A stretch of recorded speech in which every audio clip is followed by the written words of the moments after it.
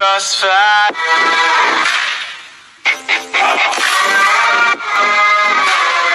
Caught in the crossfire.